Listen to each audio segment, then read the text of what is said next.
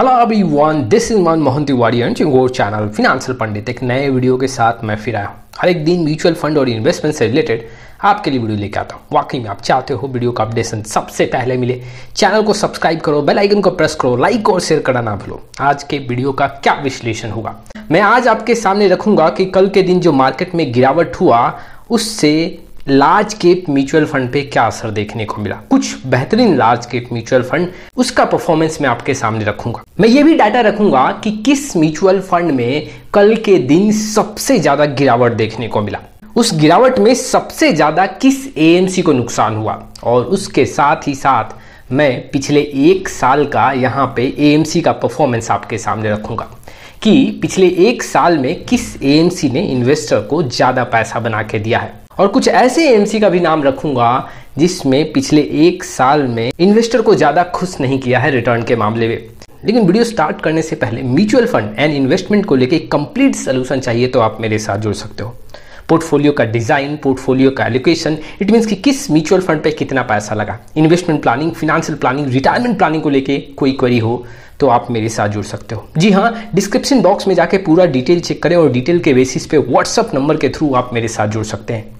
चलिए, सबसे पहले कुछ लार्ज कैप म्यूचुअल फंड रखता हूँ कि कल के गिरावट में कितना नुकसान देखने को मिला।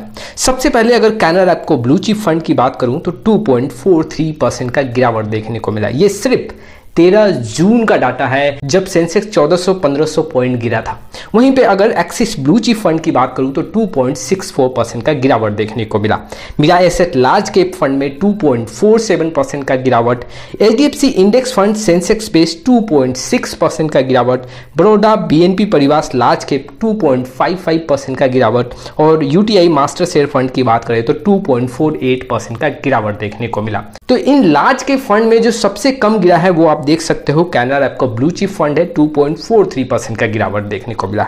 और जो सबसे ज़्यादा यहाँ पे गिरता हुआ देखने को मिला है, वो आप यहाँ पे देख सकते हो एच इंडेक्स फंड जो सेंसेक्स बेस्ड है, उसमें ज़्यादा गिरावट देखने को मिला है। अब मैं आपके सामने कुछ ऐसा डाटा रखूँगा। इट मीन्स की कुछ ऐसे म्यूचुअल फंड जिसमें कल सबसे ज़्यादा गिरावट देखने को मिला। जी हाँ मैं यहाँ पे इक्विटी ओरिएंटेड म्यूचुअल फंड की बात कर रहा हूँ। यहाँ पे जो सबसे ज़्यादा गिरा है कल के दिन वो क्वांट वैल्यू फंड है ऑलमोस्ट 3.92 परसेंट का गिरावट। इंडेक्स में 2.64 2.65 परसेंट का गिरावट है, जबकि यहाँ पे इस म्यूचुअल फंड ने ऑलमोस्ट 3.92 परसेंट का नेगेटिव रिटर्न दिया, ये सिर्फ़ एक दिन का है। वहीं पे अगर क्वांट इंफ्रास्ट्रक्चर फंड की बात करें 3.54 परसेंट का गिरावट। वहीं पे अगर मैं एच इंफ्रास्ट्रक्चर फंड की बात करूँ तो यहाँ जो एक दिन का गिरावट है, वो 3.51 परसेंट का गिरावट है। वहीं पे अगर मैं टोरस डिस्कवरी फंड की बात करूँ तो 3.49 परसेंट का गिरावट है। क्वांट एक्टिव फंड में 3.46 परसेंट का।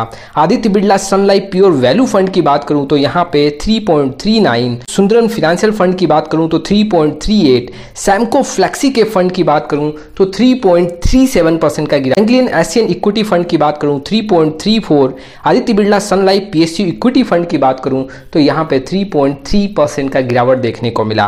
वहीं पे इन्वेस्को इंडिया पीएसयू में भी 3.3 क्वांट फोकस्ड फंड में 3.26 and Aditya Birla Sun Life dividend yield में 3.24 परसेंट का गिरावट देखने को मिला।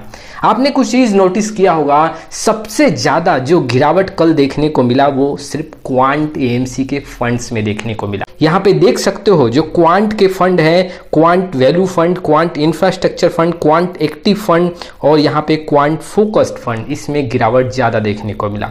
नो no डाउट ये फंड परफॉर्मेंस काफ़ी बेहतर कर रहे हैं। पिछले एक साल, पिछले दो साल, पिछले तीन साल में देखा जाए तो ऐसे म्यूचुअल फंड में काफ़ी अच्छा रिटर्न देखने को मिला है। लेकिन मार्केट में कुछ भी ज़्यादा गिरावट होगा तो ऐसे म्यूचुअल फंड पे ज़्यादा असर देखने को मिलेगा। आपको रिटर्न ज़्यादा देंगे, लेकिन गिरावट भी ज़्यादा होगा। क्यों? क्योंकि मैंने कई बार आपको बताया है कि इनके पोर्टफोलियो में मीड केप और स्मॉल केप का परसेंटेज ज़्यादा है कंपेयर टू अगर आप फ्लेक्सी केप म्यूचुअल फंड से कंपेयर करोगे या मीड केप से कंपेयर करोगे या फिर आप लार्ज केप से कंपेयर करोगे। तो जब मीड केप और स्मॉल केप का परसेंटेज ज़्यादा होगा तो मार्केट में जब तेज़ी होगा तो ऐसे म्यूचुअल फंड में रिटर्न ज़्यादा देखने को मिलेगा और अगर गिरावट होगा तो वैसे नुकसान भी ज़्यादा देखने को मिलेगा। तो इस रीजन के चलते क्वांट के जो म्यूचुअल फंड है, उसमें गिरावट ज़्यादा देखने को मिला। चलिए, अब आपके सामने कुछ और डाटा रखता हूँ। जी हाँ पिछले एक साल में किस एएमसी ने इन्वेस्टर को ज़्यादा पैसा बना के दिया है? मैं सिर्फ़ इक्विटी ओरिएंटेड म्यूचुअल फंड के बेस पे यहाँ पे एएमसी का डाटा आपके सामने रखना चाहता हूँ। देखो, अगर मैं एक साल का यहाँ पे कंपेयर करूँ तो यू सबसे नंबर वन पे है। यहाँ पे एक साल में 11.68 परसेंट का रिटर्न दिया है। जितने इक्विटी ओरिएंटेड म्यूचुअल फंड हैं, उस सारे फंड का ऑन द एवरेज जो रिटर्न निकल के आ रहा है, वो 11.68 परसेंट का है, ये पिछले एक साल का है। दूसरे नंबर पे हम बात करें तो H D F C A M C है, यहाँ पे जो एक साल का रिटर्न देखने को मिला है, वो ऑलमोस्ट 10 से 11 परसेंट के बीच में है 10.34 परसेंट आप कह सकते हो। तीसरे नंबर पे बात करूँ तो पीजीआईएम इंडिया म्यूचुअल फंड जो है वो यहाँ पे तीसरे नंबर पे है।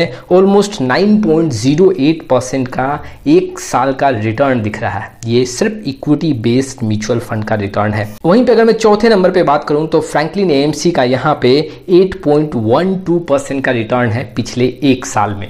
चलिए आप कुछ ऐसे म्यूचुअल फंड भी आपके सामने रखता हूँ जो पिछले एक साल में इन्वेस्टर को नाराज़ किए हैं। इट मीन्स कि वहाँ पैसा नेगेटिव में दिख रहा है। मिला के अगर मैं यहाँ पे सेमको की बात करूँ तो सेमको एसेट मैनेजमेंट में जो एक साल का रिटर्न है, वो नेगेटिव 16.55 परसेंट के करीब में है। जी हाँ इक्विटी ओरिएंटेड म्यूचुअल फंड का ऑन द एवरेज रिटर्न है 16.55 परसेंट का नेगेटिव रिटर्न अगर मैं आईटीआई म्यूचुअल फंड की बात करूँ तो यहाँ पे जो नेगेटिव रिटर्न है, पिछले एक साल में 11.05 का नेगेटिव रिटर्न है। चलिए, वहीं पर मोतीलाल ओसवाल की बात करूँ तो पिछले एक साल में एट 0.02% का नेगेटिव रिटर्न है।